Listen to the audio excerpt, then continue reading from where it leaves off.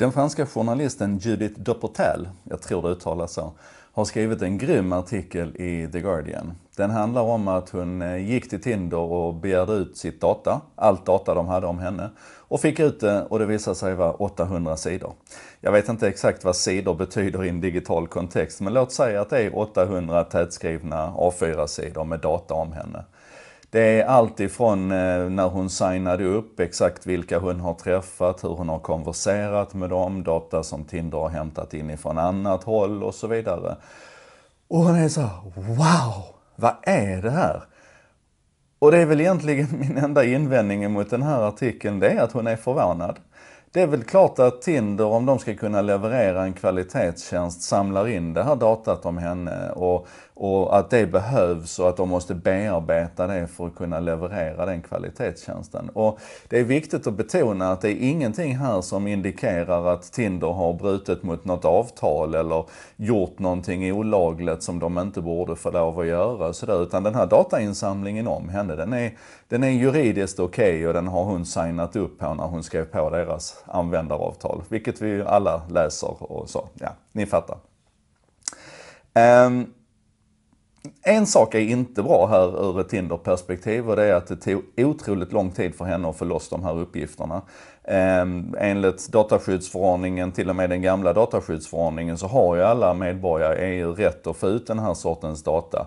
Och då behöver man naturligtvis i organisationen rutiner för att hantera det. Så skäms på er där Tinder. Men det som jag egentligen tycker är ett, ett lite större bekymmer här, det är det faktum att Judith blir förvånad. Att hon blir Eh, jag, jag, jag, har den största respekt för att hon skriver en artikel om det och artikeln är välskriven och det är jättebra på alla sätt och vis.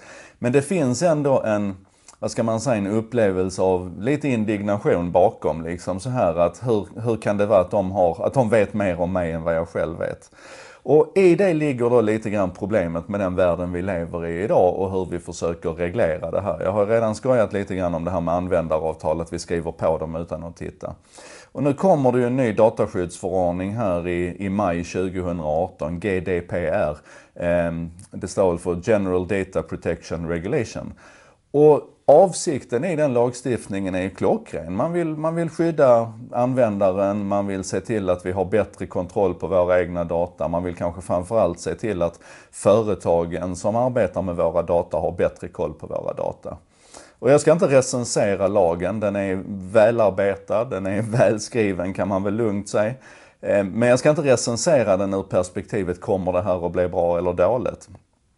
Vad jag är bekymrad för är att vi användare är rätt så dumma i huvudet faktiskt.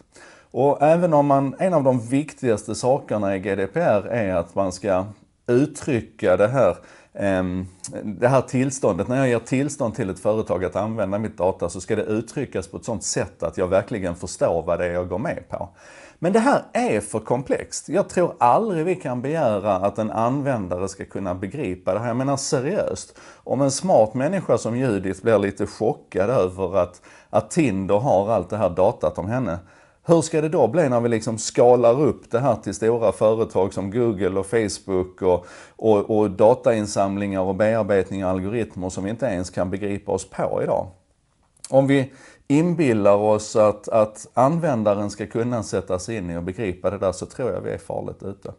Så att vad jag nog egentligen funderar på det är om vi, om vi behöver tänka om det här med privacy och integritet och, och datainsamling och personlig data. Vi behöver tänka om det helt och hållet. Och jag är inte alls färdig i den tanken.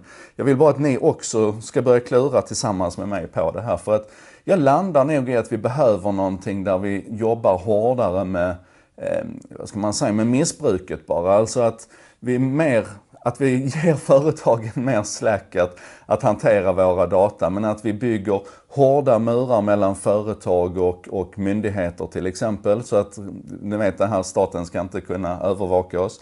Att vi bygger hårdare regleringar mot, mot missbruk av datat. Och det finns i GDPR och där är, där är höga böter och sådär. Men det som skaver hos mig det är att man tror att, att användaren ska kunna vara en, en uppenbar del i den här processen. Jag är inte så säker på det.